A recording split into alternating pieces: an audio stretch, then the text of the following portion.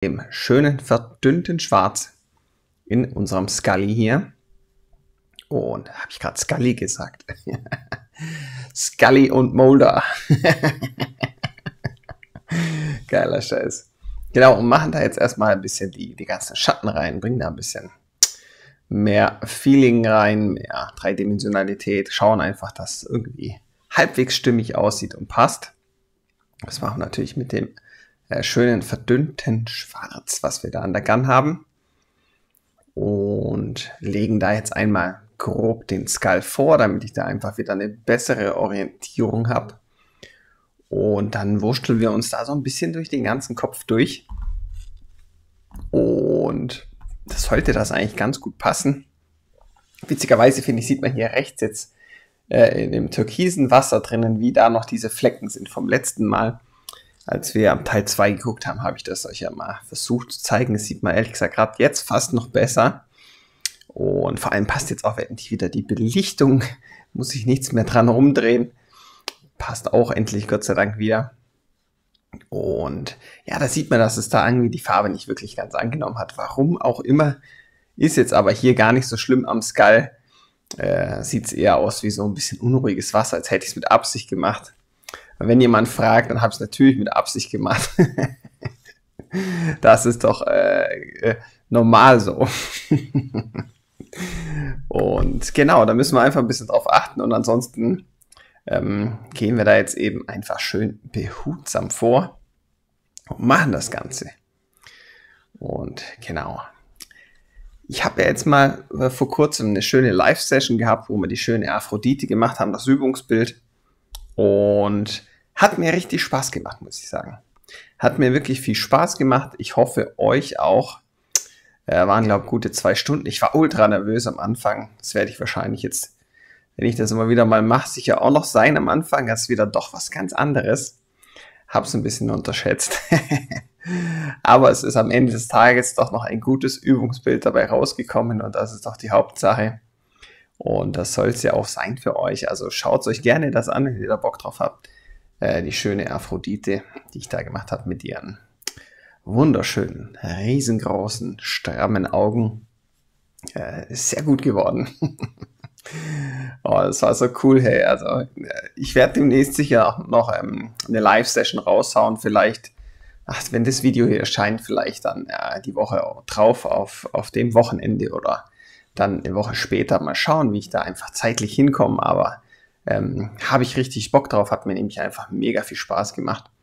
Diesmal sogar ein Kätzchen mit ein bisschen Blumen, so floral mustermäßig und wird sicher auch eine coole Sache. Also schaut da gerne rein.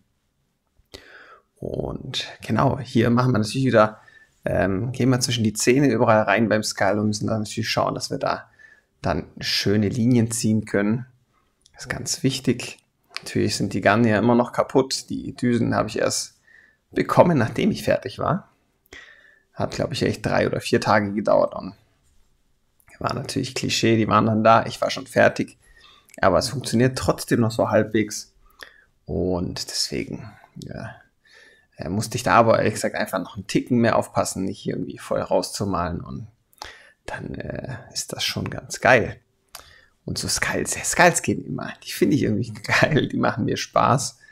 Und jetzt habe ich mir aber gedacht, für das eine nächste Übungsbild nehmen wir mal was anderes. Äh, vielleicht auch ein bisschen was für die Girls da draußen. bisschen Salat für die Girls. Und genau, deswegen machen wir das. Was mich auch mega freut, sind mega viele vom, äh, bei, bei der Live-Session auf, aufs Discord gejoint, äh, dass mein Handy fast explodiert. Aber es war richtig krass, nachdem ich dann, nachdem die Live-Session durch war und ich dann endlich äh, dann noch die Pistolen gereinigt habe, weil ich jetzt erstmal nächste Zeit nicht so viel gebrusht habe.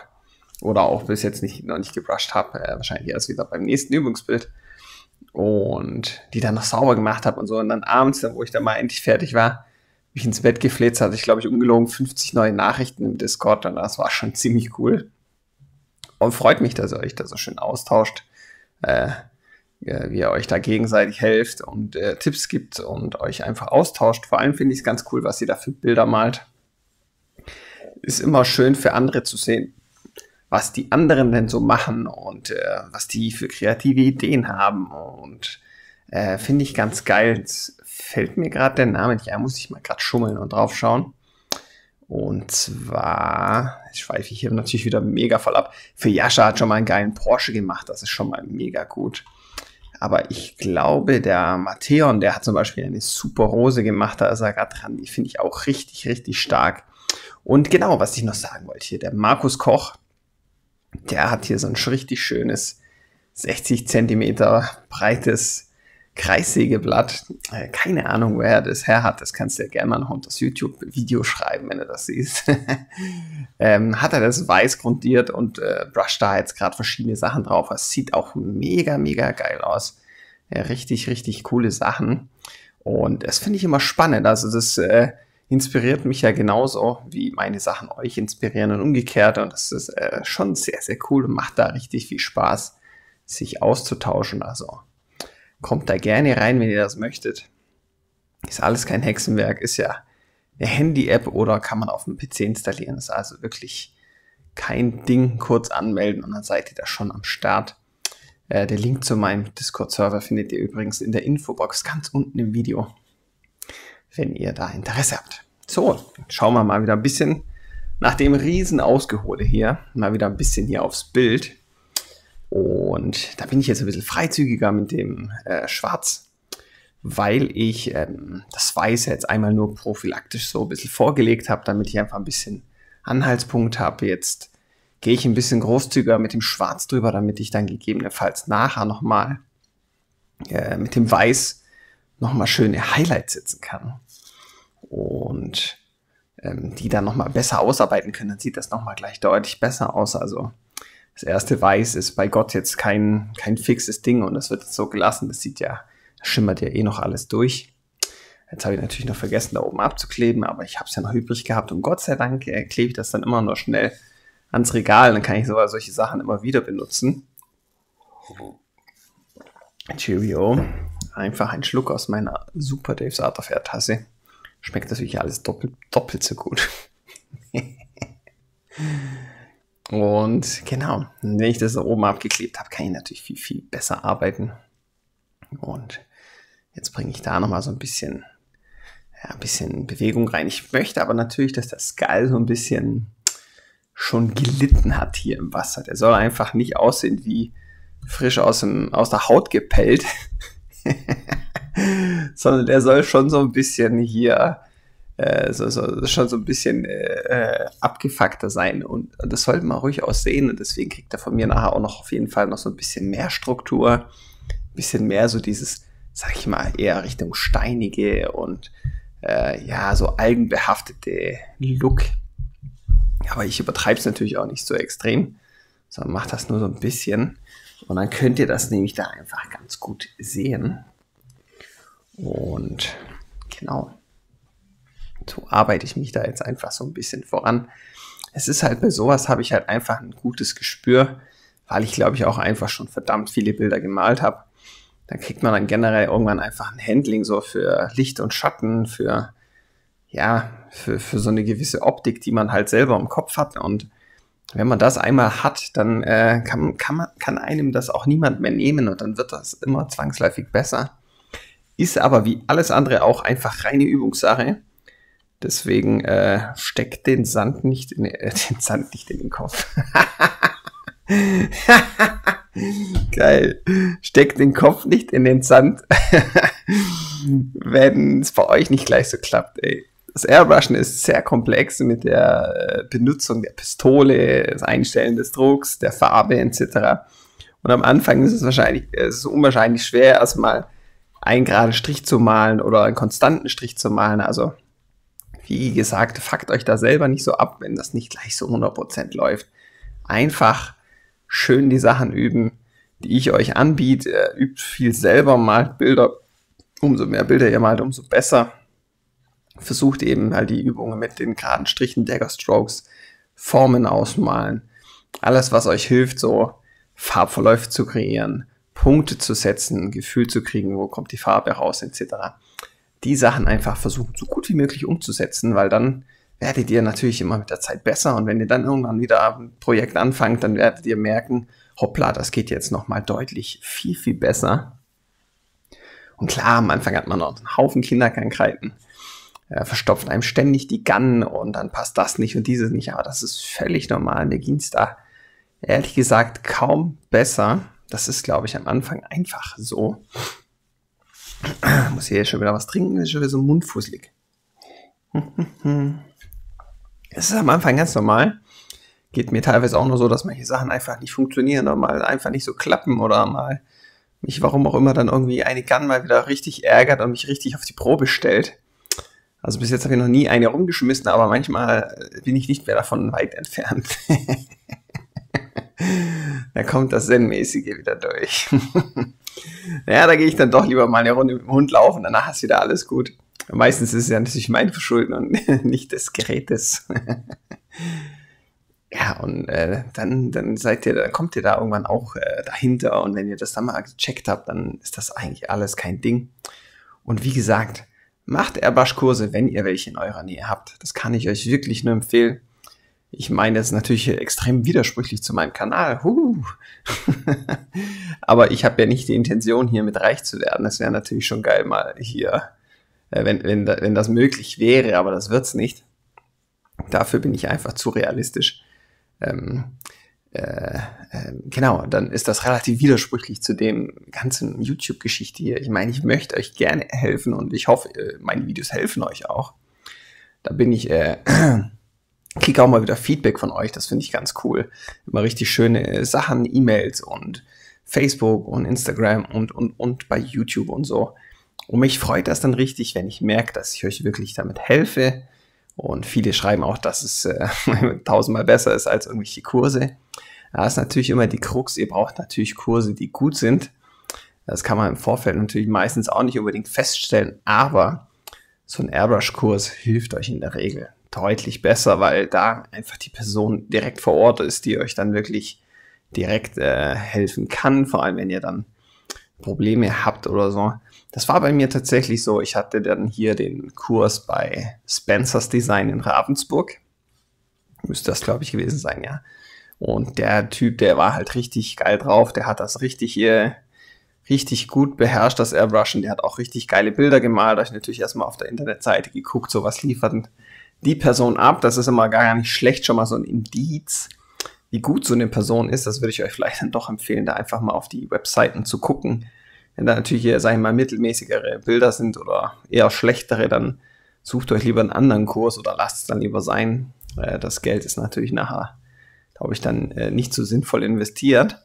Da kann der Nils, glaube ich, auch ein, äh, der Chaos Nips auch ein, ein, Lied von singen. Aber mein Kurs war mega gut.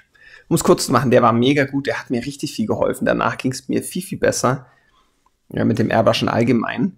Und ähm, ich durfte auch mit meinen Guns äh, dort brushen. Also ich hätte welche zur Verfügung gestellt bekommen, aber ich habe meine eigene mitgebracht und er hat gesagt, perfekt so kann ich dir direkt helfen, wenn was nicht gepasst hat. Und bei einer hat schon was nicht gepasst und er hat dann drüber geguckt, er hat gesagt, guck, komm mal her, hier ist Problem X, hier, hier ist Lösung Y. Ganz einfach, aber wenn man es halt nicht weiß, dann, äh, ja, dann äh, Wissen ist Macht, dann, dann guckt man natürlich da ein bisschen dumm aus der Röhre. Aber hat mir, wie gesagt, super geholfen und ähm, äh, kann ich euch nur empfehlen, mal einen zu machen.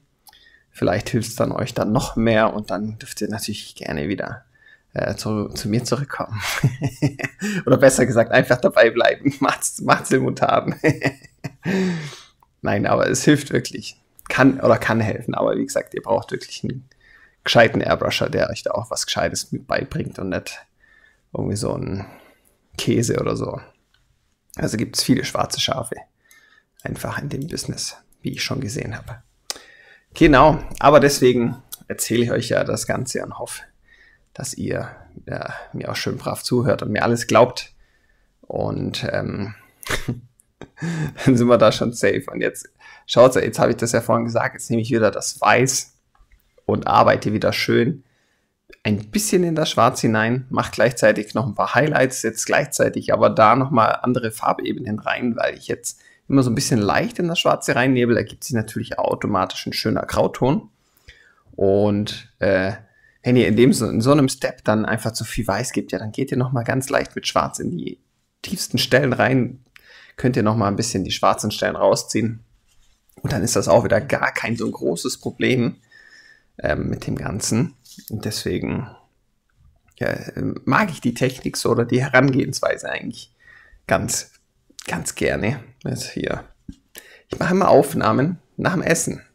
Immer fressen wie ein Schwein und danach Aufnahme machen. Das ist sehr kontraproduktiv, würde ich mal behaupten. äh, aber mit vollem Magen spricht sie es leichter. ja, oben die Maskierfolie, die hat natürlich jetzt schon, äh, natürlich schon hin und her geklebt etc. Die hat auch nicht so eine starke Klebekraft, soll sie auch gar nicht haben. Die, die möchte jetzt natürlich langsam nicht mehr so. Auch generell Maskierfolie auf der Leinwand ist immer ein bisschen kritisch. Äh, nicht alle heben da richtig gut, weil die geriffelte Oberfläche von der Leinwand und eben das Faserige oft dazu neigt, die Folie eigentlich, äh, dass die Folie halt keine so gute Klebekraft hat. Das ist halt immer so ein bisschen, ja, kann manchmal nerven, äh, wenn man da eine hat, die vielleicht noch schwächer klebt oder so, aber müsst ihr auch mal ein bisschen rumprobieren oder ihr, ihr arbeitet auf alle die Bondplatten oder auf irgendwelchen anderen Metalloberflächen ist natürlich dann eigentlich das Geilste. Mache ich gerade eigentlich selten, weil die Scheiße einfach zu teuer ist. Mir zu teuer, eine alle die Bondplatte dann nachher für, keine Ahnung, 20 Euro oder so ein, eine rauszulassen, ist mir dann einfach, nee. Ich habe jetzt eigentlich ehrlich gesagt noch ein paar Blech, Bleche im Keller unten, aber die, die müsste ich eigentlich nur noch vorbereiten und eigentlich abschleifen und vielleicht noch schwarz lackieren, vielleicht, dann, wenn ich es schwarz haben möchte oder auch nicht oder halt einfach nur, ja, ich müsste eigentlich nur noch vorbereiten, bin aber zu faul. bin zu faul, aber ich habe eigentlich mal wieder richtig Bock auf Metall zu arbeiten, vor allem ähm, äh, das Ding danach wieder zu lackieren. Das gibt dem Bild nochmal so ein extra Bums, wenn das einfach schön äh, so eine richtig schöne Klarlackschicht darauf hatte. Und ich meine, ich habe in der Garage einen guten Kompressor und eine SATA Mini-Jet Lackierpistole und kann das immer selber machen und dann wirken die Bilder immer noch einen Ticken geiler wenn da einfach die ganze Geschichte unterm Lack ist. Und da habe ich eigentlich so richtig Bock drauf. Aber ich wüsste jetzt auch ehrlich gesagt gerade nicht, was ich drauf machen wollen oder sollte. Und ja, muss ich einfach mal so ein bisschen gucken. Jetzt habe ich, ich habe eh gerade noch so viel Zeug, was ich machen kann. Das Pinstriping habe ich noch. Ich habe noch das Flame Set von der Airbrush Color for You, was ich auch noch äh, unbedingt mal ausprobieren will. Noch mal ein bisschen bei Flammen abkacken, weil das ist ja nicht gerade so meine Spezialität, aber deswegen mache ich es auch immer wieder gerne, um es einfach zu üben. Weil Sachen zu machen, die man kann, das ist einfach. Aber es an sich an Sachen ranzusetzen, die man nicht so gut beherrscht, dann das, das ist halt wieder üben. Und da übe ich auch. So, warum halte ich das Ding jetzt hier rein? Ich habe aber fälschlicherweise gedacht, dass das Ding vielleicht auch als Sprenkelkappe genutzt werden könnte. Aber das sind ja eigentlich nur die Dinger, die ähm, ausgeliefert werden bei der Hard- und Steenbeck, damit die Nadel nicht während des Transports kaputt geht. Aber ich habe sowas ähnliches mal bei der anderen Pistole dabei gehabt und habe mir gedacht, ja, vielleicht lässt sich das Ding ja auch so ein bisschen äh, zweckentfremden für das Ganze. Weil ich jetzt hier ein bisschen in dem äh, Skull sprenkeln will, damit der A Struktur kriegt und B so ein bisschen eher schon so versteinert oder steiniger aussieht. Und ich habe jetzt mir gedacht, ich probiere das hier einfach mal aus. Habe festgestellt, ja, das bringt halt gar nichts. es ist halt ein Scheiß und äh, ich habe ja leider jetzt noch nicht die, äh, gleich mal korrigieren, äh, habe ja hier die äh, Iwata HP BH noch nicht gehabt. Und der, die hat ja nämlich unten schön Regulierer dran, wo ich ganz einfach die Sache selber machen kann äh, den Druck so runterregulieren kann, dass die halt richtig schön sprenkelt. Und ich habe auch hier jetzt noch, äh, noch nicht den Luftverteiler dran gehabt, den habe ich ja auch noch dran gebaut. Findet ihr alles übrigens auf meinem Kanal, könnt ihr gerne anschauen. ähm, ja, da hat ja auch noch, noch so einen blöden alten äh, Textilschlauch, der sich hat einfach scheiße knicken lassen. Äh, muss man ganz ehrlich sagen, wie es ist.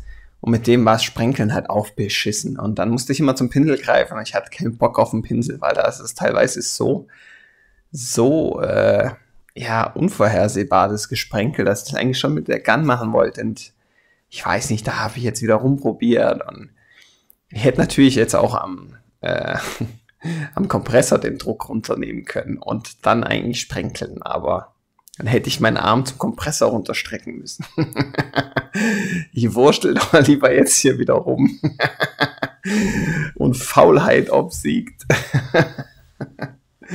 es ist nicht mal wirklich die Faulheit, glaube ich, bei mir, sondern einfach, ich möchte einfach am, am, am Projekt bleiben. Ich bin dann immer so in meinem Ding drin und mich nervt es dann an, wenn ich dann irgendwie davon weg muss, um wieder irgendwie XY zu machen. Deswegen äh, ist das so. Aber jetzt hier habe ich jetzt gerade so halbwegs, das Sprenkeln kommt so halbwegs durch, passt jetzt. Und ja, ist jetzt Gott sei Dank mittlerweile Geschichte durch die schöne Iwata. Kann ich das jetzt, kann ich sprenkeln wie ein Sprenkelmeister. You sprinkled. Und dann kann ich es einfach besser dosieren, weil hier spritzt teilweise dann doch noch ein bisschen hart raus. Und dann spritzt da den ganzen Schädel voll. Und äh, an Stellen, wo ich es nicht haben will. so, jetzt trinke ich nochmal einen Schluck Wasser hier und ich hier konstante meine 20 Minuten schon durchquatsch für euch. Schön aus der Caroline-Tasse. Pin-Up Girl. Geil. So, Dalle. Oh, was mache ich denn jetzt? Ich sprenkel mit Schwarz. Sprenkel einmal mit Weiß, einmal mit Schwarz, damit das beides, ähm, wenn man nur mit Weiß sprenkelt, dann kriegt das nicht so den steinigen Effekt. Da sollte man tatsächlich auch mit einer anderen Farbe, mit einer hellen Farbe sprenkeln, dann sieht das immer gleich deutlich besser aus. Hier fuckt es mich gerade wieder voll ab mit der Weiß, weil die Düse ist natürlich auch beschädigt und da funktioniert Sprenkeln dann sowieso nicht so gut. Dann habe ich gleich wieder Tip Dry und bin da kurz wieder am Randalieren und zück jetzt den Pinsel wieder notgedrungen, weil es mich anscheißt und mach das jetzt schnell so. Ist dann doch die äh, schnellere und gescheitere Wahl. Aber wie gesagt, ist Gott sei Dank mittlerweile Geschichte. Juhu! und genau. Ich nehme tatsächlich auch noch eine Schablone nachher. Für alle, die meinen, dass ich keine Schablonen benutze oder so, oder absoluter Schablonenhasser bin, das äh, ist natürlich nicht der Fall, ihr Säckel, sondern ich habe eine schöne Strukturschablone, die ich jetzt hier nachher noch so ein bisschen benutzen werde, um das Ganze noch ein bisschen, äh, ein bisschen mehr, mehr roughen Look zu geben.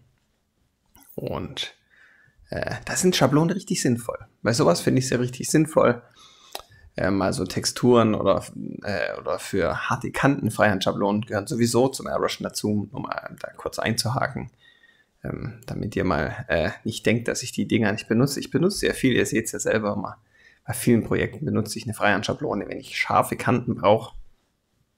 Aber auch das versuche ich tatsächlich so gut wie es geht zu vermeiden, damit einfach das Bild so, ja, damit ich auch so gut wie möglich viel dran übe. Man kann natürlich auch ganz feine Linien und Abgrenzungen äh, produzieren mit der Freihand. Ist zwar voll aufwendig und schwierig, ist natürlich nie so krass wie mit irgendeiner Lineal oder weiß der Geier was, aber ähm, damit lerne ich halt einfach äh, besser mit dem Airbrush-Gerät umzugehen. Und deswegen äh, setzt am Anfang die Schablonen mit Bedacht ein, dann habt ihr einen besseren Übungseffekt einfach und ähm, lernt einfach schneller besser zu werden. Das ist auch ein bisschen so die Idee bei den ganzen Übungsblättern, die ich euch anbiete. Da habt ihr einfach eine feste Vorlage, leicht abgegraut und dann arbeitet ihr da am besten Fall auch einfach wie ich mit der Erwaschpistole frei drüber.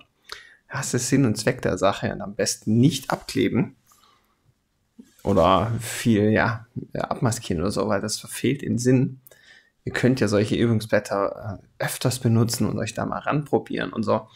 Da werdet ihr tatsächlich nachher wirklich, da schult ihr nachher das ganze Handling, da werdet ihr tatsächlich besser. Und nicht äh, durch ständig abma äh, abmaskieren, abkleben das, äh, oder Schablonen benutzen. Da, da übt ihr das freie, freie, äh, freie Malen einfach nicht so. Ich meine, ihr könnt ja, ihr könnt ja viel üben und nachher trotzdem viele Schablonen benutzen. Ist ja gar nicht so wild, aber dann habt ihr wenigstens das richtige Handling, um auch die gescheit aus, äh, zu benutzen. Und übrigens habe ich hier oben gerade voll verkackt. Da hat das so ein Schwall rausgeschossen aus der, aus der Evolution, die ich jetzt mal wieder genommen habe. Obwohl ich die vorhin die ganze Zeit nicht benutzt habe. Und ich, ich weiß jetzt auch wieder, warum ich das gemacht habe, weil die einfach so rausgerotzt hat. Aber das können wir jetzt alles noch ein bisschen korrigieren.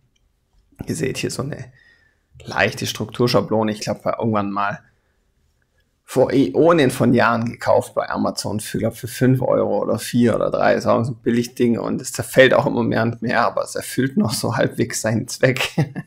ich benutze es ja Gott sei Dank auch nicht so viel, dass es jetzt arg schneller kaputt geht, aber es ist nämlich nur dickeres Papier und das ist natürlich, ja, saugt sich voll, ist dann irgendwann hi, ist natürlich Käse. Ja, und genau, bevor wir jetzt hier groß mit der Schablone anfangen, mit der möchte ich ja highlighten.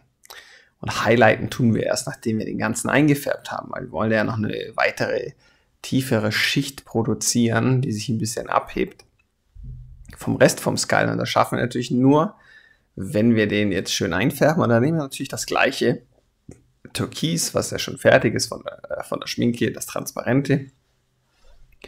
Und äh, äh, malen den einfach von oben nach unten schön ein und können den schön durchziehen. Das äh, Türkis reicht ja auch eigentlich fast bis nach unten über den Skull und deswegen können wir den schön großflächig da einnebeln und haben da keine Probleme.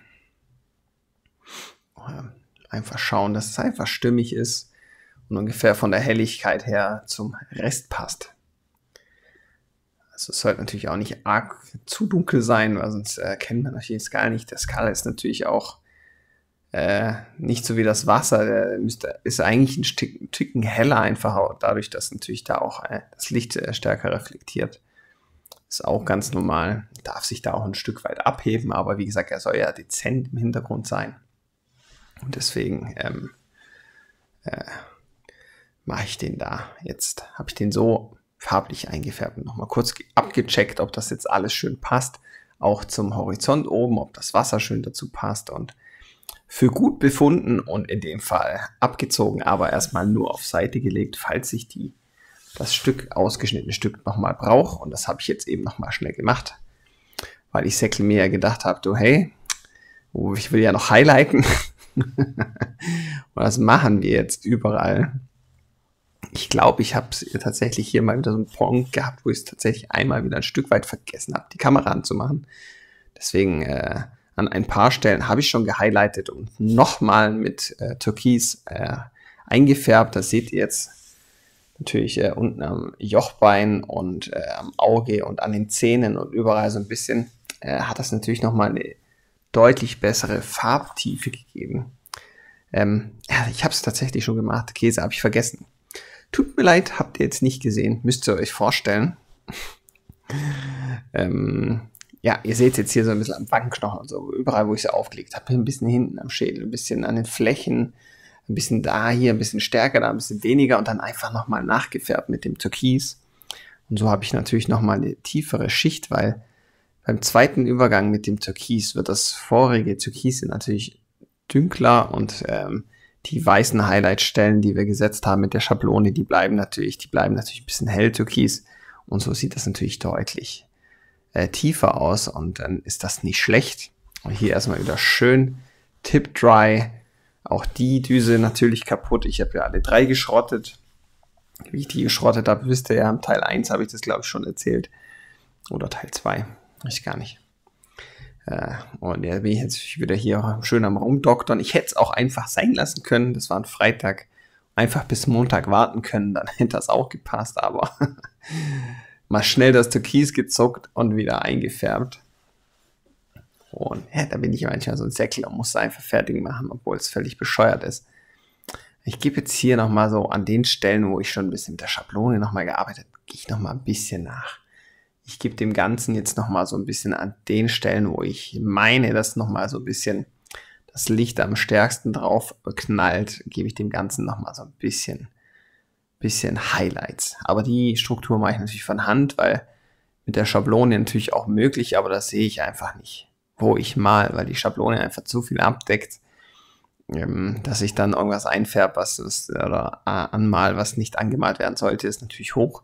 Deswegen machen wir das natürlich auch wieder schön mit der Freihand, so wie sich das gehört. Und da habe ich einfach die bessere Kontrolle. und kann das halt auch gescheiter umsetzen. Ihr seht, das wird jetzt schon langsam richtig geil. Der kriegt schon so einen richtig schönen, roughen, abgefuckten Look, so wie ich den gerne haben möchte. Und irgendwann habe ich mir auch gedacht, okay, ich könnte noch mehr Details, noch mehr Tiefe. Ich meine, wenn man sich da mal meinen Skull anguckt in äh, Schwarz-Weißen da, da könnte ich äh, äh, detailtechnisch hier natürlich noch einiges mehr dran machen, wenn ich denn Lust, Lust habe. Aber äh, es, ich glaube, es lenkt uns nachher auch zu sehr vom High ab. Deswegen halten wir uns damit ein bisschen bedeckt. Aber hier kommt tatsächlich doch noch mal ein bisschen die Schablone zum Einsatz. Dann seht ihr das tatsächlich doch noch. Ich habe mir da auch so ein bisschen die feinere Struktur bei der Schablone rausgesucht, nämlich den oberen Teil da, den benutze ich da jetzt überwiegend. Das ist nämlich so ein bisschen unwillkürliche Struktur, die dann eben recht natürlich aussieht. Und die kann ich dann da sinnvoll ein, einsetzen. Und dann passt das wieder. Gott sei Dank hebe ich natürlich so ein, so, so, so ein Fetzen da, den abmaskierten, bei so einem Projekt immer aufheben für das Projekt. Danach kannst du das natürlich wegschmeißen, braucht kein Mensch mehr. Aber bei so einem am besten immer auf die Seite kleben und dann, wenn ihr es dann doch nochmal braucht, dann habt ihr es gleich griffbereit. Und habt da keine Probleme. Und ja, jetzt wird es doch schon langsam geil. Wir machen natürlich nachher noch mit Schwarz ähm, noch so ein bisschen Moos, noch so ein bisschen Zeug, was da rab, rabhängt, damit das einfach noch ein bisschen gruseliger aussieht und ein bisschen noch mehr nach, nach ein paar Jahrzehnten im Wasser. Und da sieht das schon nachher gleich noch meine Spur ganz anders aus.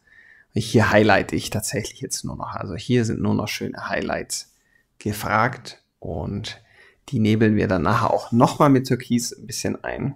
Aber nur ganz, ganz dezent. Damit das eben sich nochmal ein bisschen mehr an das Ganze anschmiegt im Wasser. Und wir wollen, wir, wir, wollen jetzt natürlich nicht solche harten Highlights lassen. Das sieht natürlich auch recht, äh, würde da sonst, glaube ich, zu, zu unrealistisch aussehen, ganz ehrlich. Deswegen fahren wir dann nachher nur noch mal ganz leicht hier mit dem Türkis von weit weg, damit es einfach ein kontrollierter, schöner Sprühnebel gibt, den wir dann bewusst wollen, dass wir dann einfach nur damit arbeiten und das Ganze einfach, wie gesagt, nur leicht einfärben. Und dann passt das nämlich auch. Und dann, dann sieht das nämlich gleich ganz anders aus. Da haben wir mit sowas müsst ihr einfach spielen, mit so Farben müsst ihr spielen, mit dem Transparenten müsst ihr spielen, das müsst ihr alles ausprobieren. Probiert sowas immer aus, macht bei, bei euren Projekten. Natürlich am Anfang macht ihr am besten alles nur mit Schwarz-Weiß. Ist einfacher für euch, äh, einfach mit der Gun umzugehen und so. Macht nicht gleich 20 Farben oder gleich mit Decken, denn das ist meistens erfahrungsgemäß das, was dann schwieriger zu bewältigen ist und dann einfach, ja, schwieriger zu machen ist. Und deswegen ähm, schaut da einfach. Ich habe übrigens gerade hier wieder das äh, äh, transparente Ultramarinblau drin. Habe die Zähne jetzt nochmal abgedunkelt unten und unter dem Wangenknochen überall, wo nochmal die schwarzen Stellen sind, um da in das Türkis rein nochmal eine farbliche Ebene reinzubringen, damit das nochmal ein bisschen krasser aussieht und noch ein bisschen schöner aussieht. Und ähm, einfach da nochmal so ein bisschen auch den Schatten simulieren vom Schädel, weil da ist das, ist das Wasser natürlich nicht äh, so türkisblau wie oben jetzt, äh, wo die Helligkeit überall drauf kommt. Und da haben wir dann nämlich einfach nochmal einen schönen, nochmal schöneren Effekt. Und das ist eigentlich schon ganz geil. Und wie gesagt, nachher noch mit dem Türkis. Ich weiß gar nicht, ob ich das tatsächlich auch auf Kamera habe. Aber die Highlights nehme ich da auf jeden Fall noch runter. Kann auch sein, dass ich die dann irgendwann mal runtergenommen habe, während wir am High sind. Äh, äh, sieht man das dann halt nicht mehr so gut. Da bin ich ja jemand, der gerne hin und her springt. Ich meine, ich nehme euch gerne immer nah ran, gell? Aber ähm, ja, die Gefahr, dass dann ihr manchmal was nicht seht. Ach, da kommt das schon daneben, ich glaube ich. Ja, genau hier. Richtig schön von der Ferne ganz leicht drüber nähen. Es soll wirklich nur ein bisschen runtergehen und somit haben wir hier schon wieder eine farbliche andere Stufe wieder mit drin. Und so kann man im Bild äh, de detailtechnisch in die Tiefe aufbauen. Und das gilt für alle Herangehensweisen. Wenn ich da jetzt nochmal die Rose von Mattheon, Mattheon ist es, glaube ich, wie heißt denn hier nochmal? Meton oder Mieten, Mieton. Wie spricht man das aus? Ich weiß es nicht. ich bin so ein Bauer, auf jeden Fall bei deiner Rose. äh, ist das genau das Gleiche. Wenn du die natürlich einfärbst, nimmt das natürlich ähm, die Details runter. Äh, wenn man die mit Schwarz-Weiß vorgelegt hat, dann muss man in der Regel immer nochmal äh, Weißebenen einbauen und die nochmal einfärben. Weißebene einbauen, einfärben. Dann kriegt das Bild nochmal eine gewisse andere Tiefe und dann kann man mit äh, Schwarz auch nochmal das Schwarz ein bisschen nachziehen, weil das geht dann meistens auch nochmal einen Tick verloren. Und dann sieht das Bild nachher gleich wieder viel, viel realistischer aus und schöner aus, wenn man da eben nochmal so eine äh, mehrschichtige Tiefe einbaut. Aber das ist halt alles Übungssachen, das muss man alles, äh, sich selber muss man das rausfinden einfach. Ja, ich habe sowas natürlich auch nicht einfach gemacht, weil ich es gemacht habe, weil es gut, äh, weil es irgendwie logisch war, sondern ich habe das tatsächlich einfach ausprobiert, ganz viel ausprobieren. Und ähm, ja, das müsst ihr einfach machen und da einfach schauen. Ich meine, ihr habt jetzt Gott sei Dank ja mich, äh, kann ich euch wenigstens schon gleich sagen, wie man es machen kann. Ähm, und dann ist das ja eigentlich gar kein Problem. Jetzt machen wir natürlich hier, ziehen wir noch schöne Dagger Strokes. Zum Beispiel wieder hier simple, also nicht simple, aber so eine Grundtechnik, mit der wir jetzt hier wieder arbeiten, die Dagger Strokes, also die Striche nach unten, die oben dick sind und nach unten werden äh, die Dagger Strokes immer dünner und kleiner, das sind Dagger Strokes. Ähm, mit denen arbeiten wir jetzt hier und ziehen das eben runter und machen dann eben dadurch, äh, kreieren wir eine ganz coole Optik und das ist eigentlich, wie gesagt, jetzt so eine Grundtechnik. Was meine ich? Wenn ihr die Grundtechniken beherrscht, dann beherrscht ihr auch äh, ganz viel im Airbrush-Bereich und könnt ganz viel machen. Aber erstmal das zu beherrschen ist natürlich viel Übung. Aber wenn ihr sowas zum Beispiel einfach viel übt, deswegen habe ich das auch bei dem einen Freihand-Tutorial mit drin, Punkte und Striche setzen und das Labyrinth, da sind die Dagger Strokes auch mit dabei. Einfach Sachen sind, die ich wichtig finde. Wenn ihr sowas gut könnt, dann habt ihr schon die halbe Miete, würde ich mal sagen. Weil wenn ihr so eine Technik beherrscht, dann tut sie euch natürlich mega leicht. Dann könnt ihr da viel, viel besser und, und sinniger mit arbeiten. Und ich muss jetzt natürlich nur aufpassen, dass ich das Bild damit nicht überlad, dass es halt alles noch stimmig aussieht. Aber wie gesagt, ohne, ohne Referenzbild äh, entscheide ich das einfach so, wie ich da Lust habe. Ich habe mir gedacht, hier, ich mache die Dagger Strokes auch noch so ein bisschen dran klebend an der Fläche. Muss ja nicht nur zwangsläufig ringsrum sein, dann sieht das auch noch mal ein bisschen cooler aus. Ein bisschen hier über den Wangenknochen runterhängend und so. Und schon geil. Eigentlich hätte ich noch äh, unter den Schädel da unten, wenn ich es jetzt mir so angucke, hätte ich vielleicht noch so einen ganz leicht schemenhaft noch einen zweiten Hai andeuten sollen. Das wäre irgendwie cool gewesen. Der da hinten so rumschwimmt und der andere eben nach vorne kommt. Ich glaube, das wäre auch nochmal ganz cool gewesen. Aber hinterher ist man immer schlauer. Ihr wisst ja Bescheid. so, oh, jetzt quatsche ich schon 38 Minuten am Stück. Ich hoffe, der PC stürzt nicht ab. Der ist vorhin einfach mal schön, während ich mitten meine Abschlussarbeit schreibe abgestürzt. Einfach richtig abgekackt. Und irgendwie waren fünf Seiten verloren. Und jetzt hatte ich irgendwie gerade so gar keinen Bock mehr, die fünf Seiten nochmal zu schreiben, obwohl ich sie jetzt ja effektiv im Kopf habe. Habe ich mir gedacht, nee, scheiß drauf, da habe ich jetzt gar keinen Bock. Scheiß Lernerei kann mir gerade mal richtig am Sack vorbeigehen. Und jetzt nehme ich lieber auf und mache was anderes. Aber wenn das jetzt ja auch noch passiert, dann drehe ich durch. Ich, ich speichere mal kurz ab. Sodale abgespeichert und ich bin glücklich und happy. Happy Dave. Oh, Happy Dave.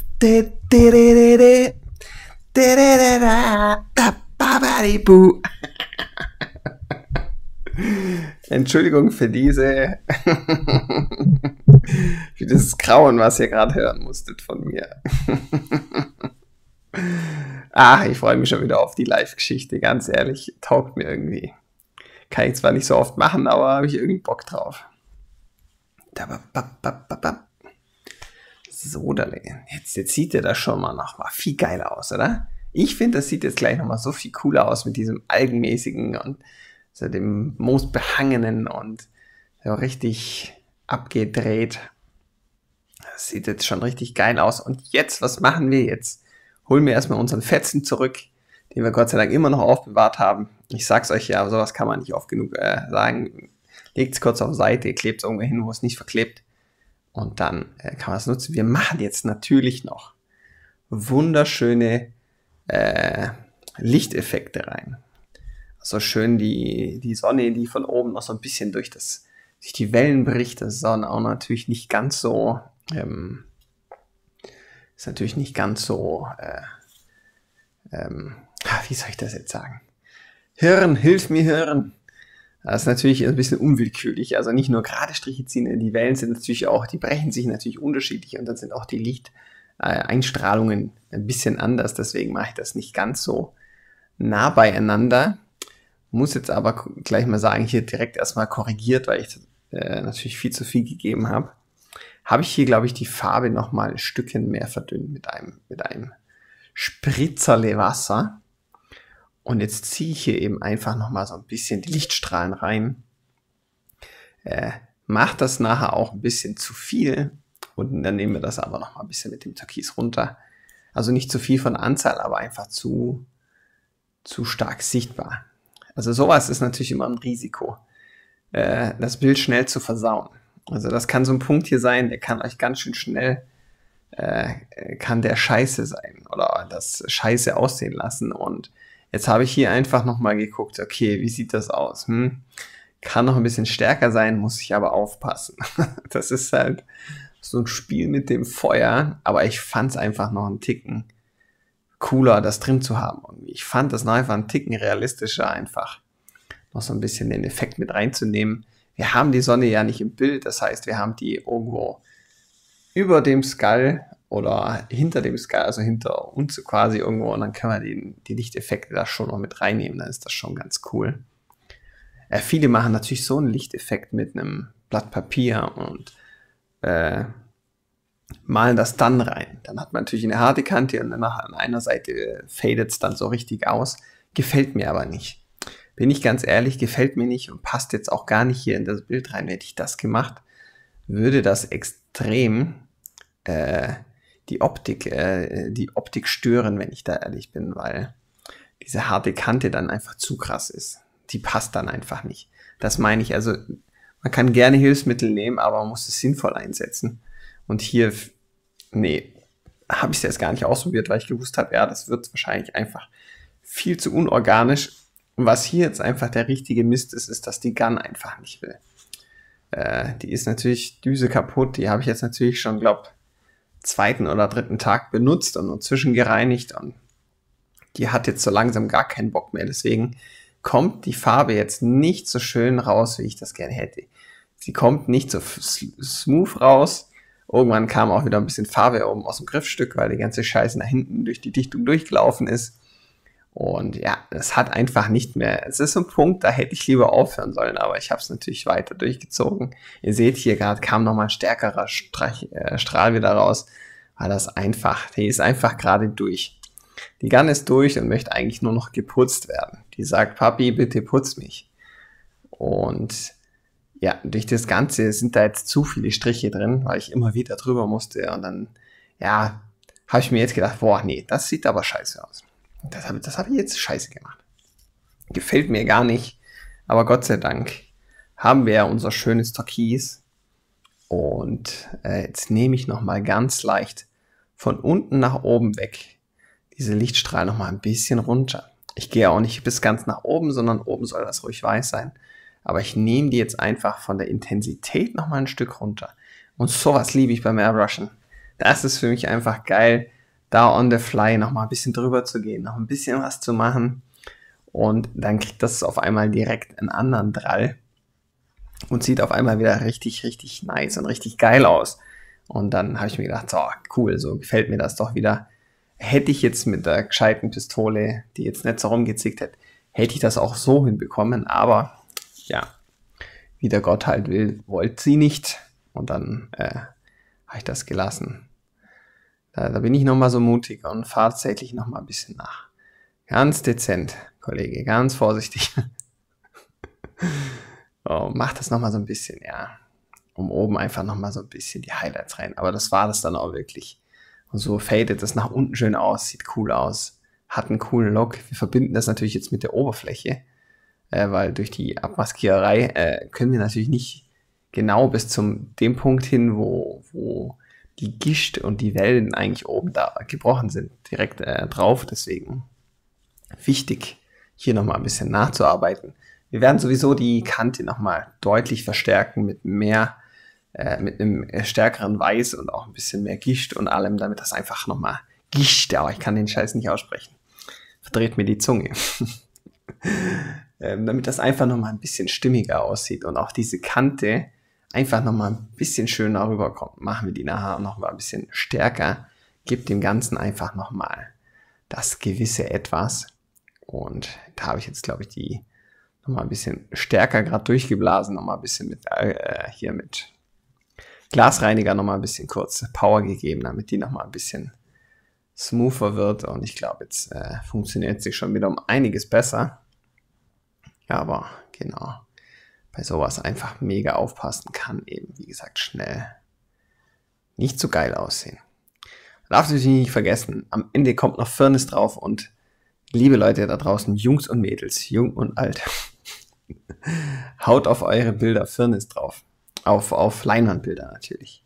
Äh, auf so einem Papier und so ist das sinnlos. Das Papier ist in der Regel viel zu dünn äh, und kann damit nichts anfangen. Aber auf so einer Leinwand Firnis drauf machen, das bringt auf jeden Fall.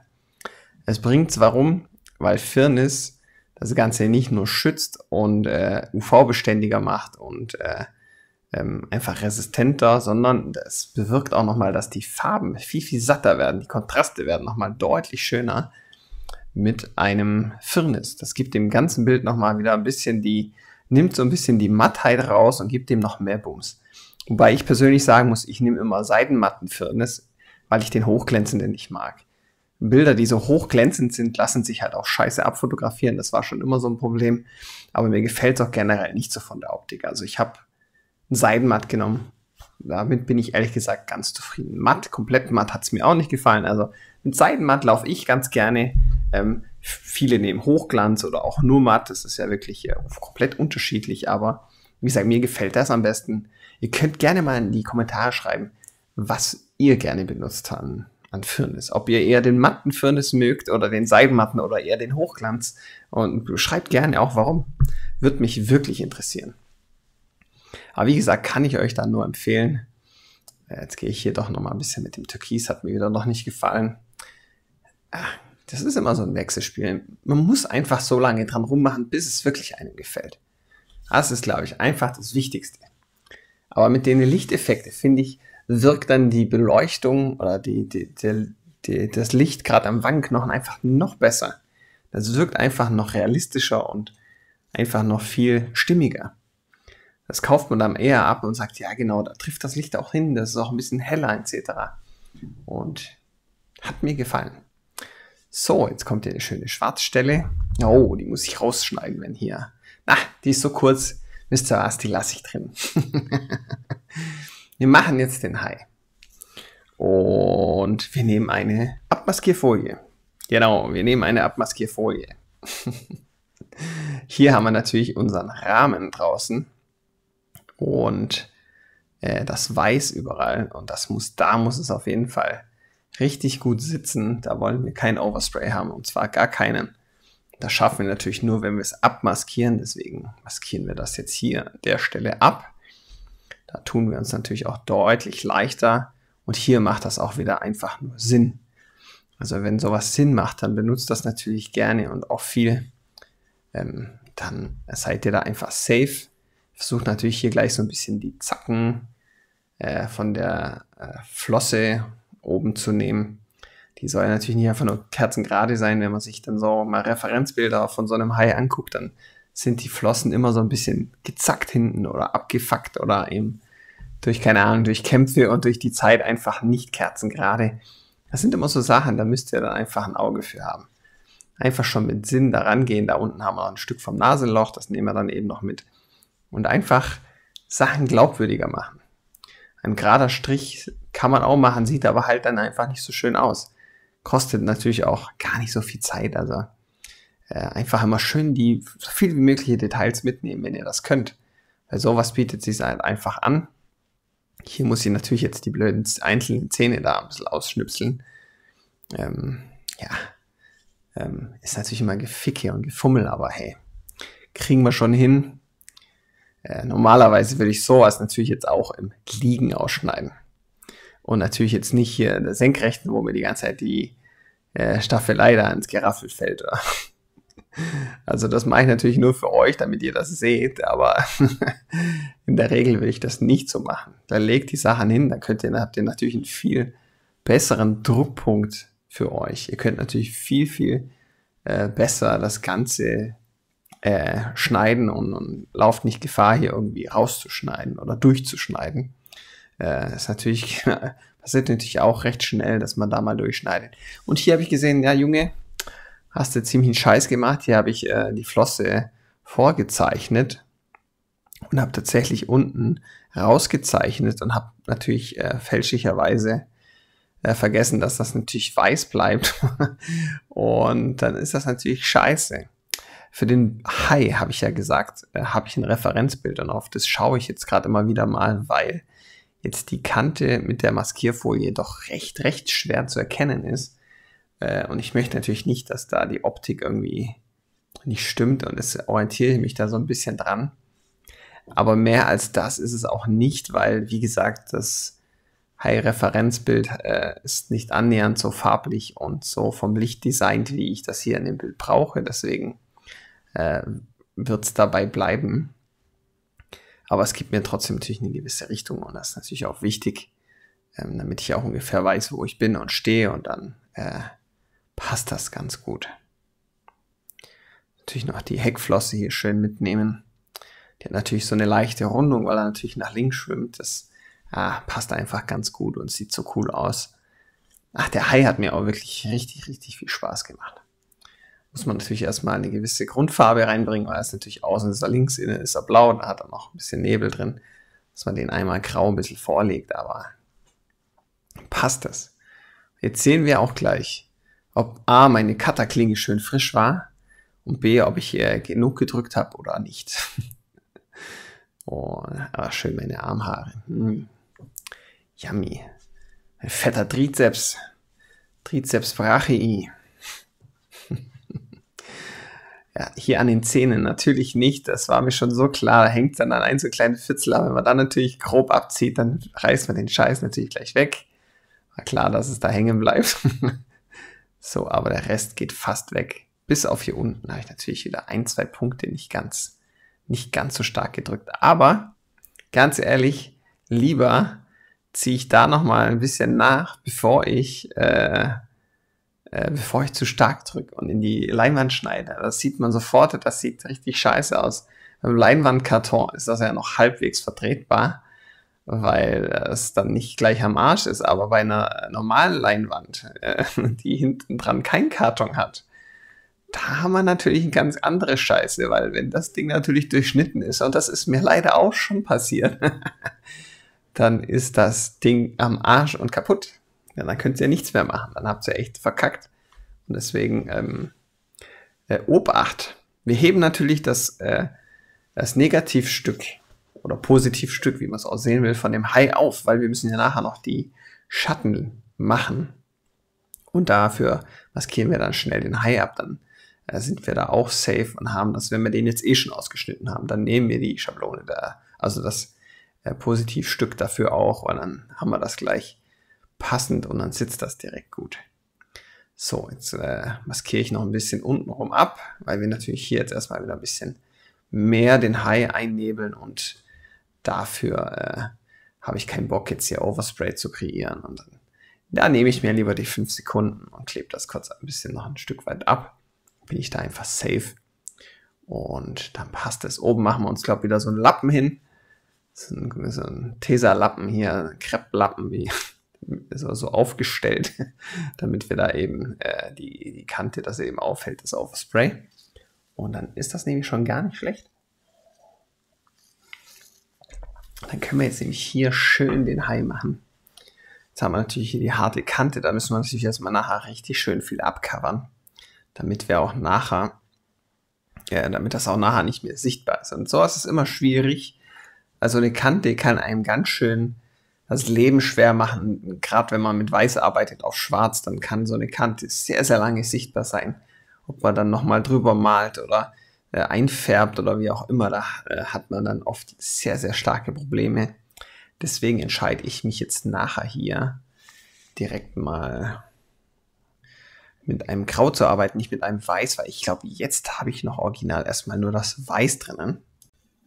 Jetzt habe ich hier natürlich das Weiß genommen und dann habe ich mir gedacht, so, hm, macht vielleicht gar nicht so viel Sinn, weil im weißen Teil kann ich natürlich nicht viel machen. und vielleicht ist es sinnvoller, hier einfach ein Grau zu nehmen, indem, indem ich, glaube ich, vier Teile weiß und ein Teil äh, schwarz. Und habe mir gedacht, komm, lege ich lieber erstmal das vor, weil dann kann ich einmal das Blaue abcovern, die Kante abcovern, kann aber auch gleichzeitig im weißen Bereich arbeiten. Und da erstmal so ein einheitliches Farbschema reinzubringen und auf dem Grau kann ich dann immer noch mit Weiß, mit Schwarz und äh, mit Farben nachher so ein bisschen arbeiten. Also das nehme ich mir da schon raus und das macht auch mehr Sinn.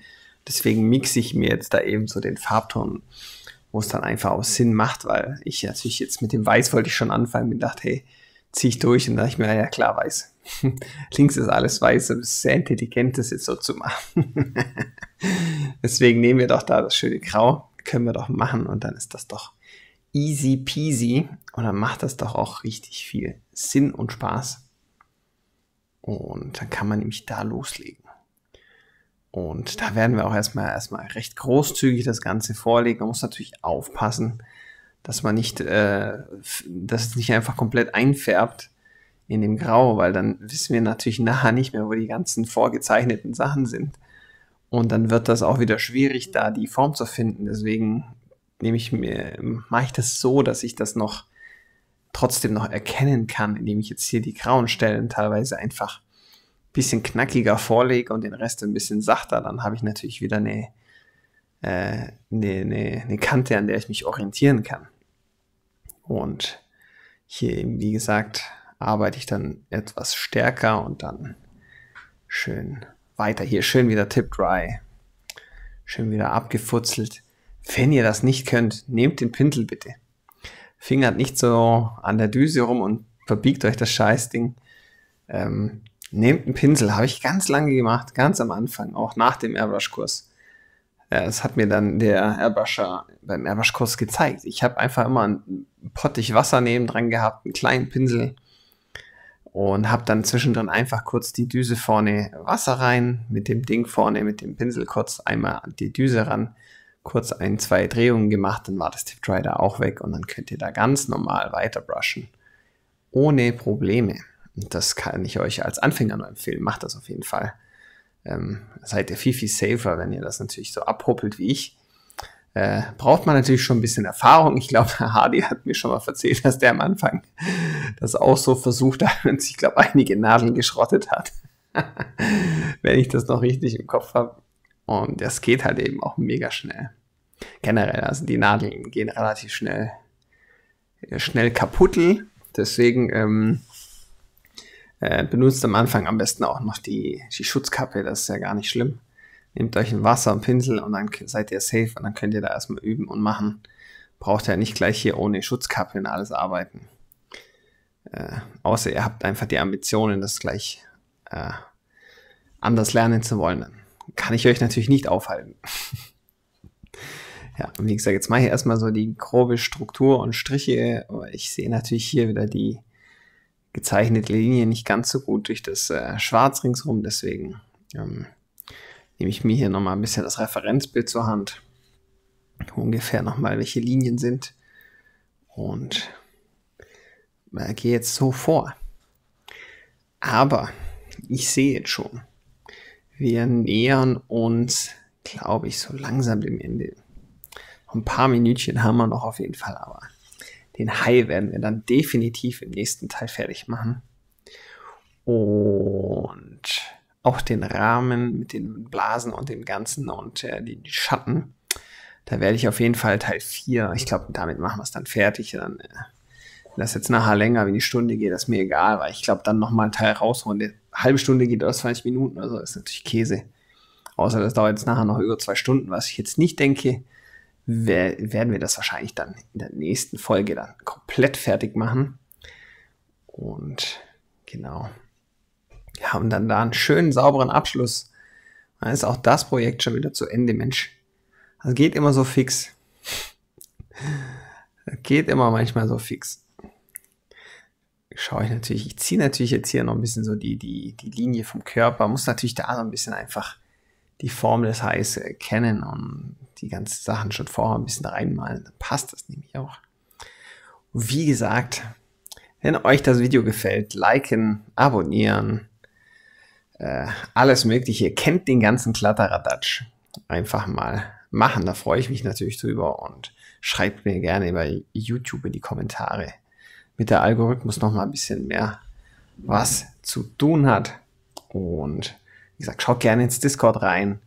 Ähm, könnt mir natürlich auch gerne Ovolus da lassen, wenn ihr das, äh, äh, wenn ihr da Bock habt oder mal in meinem Merchant Shop reinschaut. Ist alles in der Infobox, da ist kein Nonsens drin.